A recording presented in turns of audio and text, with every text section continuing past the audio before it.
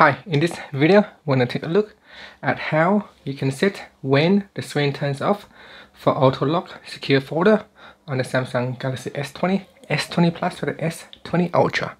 First tap on the home key to go back to your home screen, then swipe up and go into the app screen. In the app screen, tap on secure folder, then from here tap on the option key at the top and tap on settings. In settings, tap on auto lock secure folder. And here you can set it to immediately when the screen turns off, after 5 minutes, after 10, 30 minutes, or after when the phone restarts.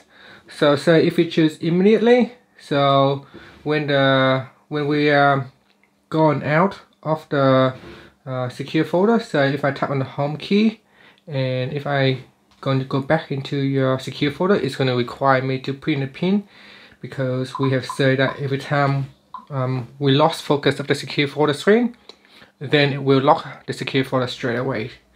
So if I go back into settings and then tap on auto lock secure folder, so you can see here if I choose it immediately, it's locked automatically each time you leave the app. So if um, we choose when the screen turns off, then it will not lock the secure folder. So if so if I um, uh, go back out and if I go back into the secure folder I still can access the secure folder without having to put the pin in. Now if I turn off the screen if I turn it back on then this time it will require me to uh, uh, put in the pin to access the secure folder. So that's how you can uh, change the auto locks of the secure folder uh, behavior. And that's it. Finally you can tap on the home key to go back to your home screen Thank you for watching this video. Please subscribe to my channel for more videos.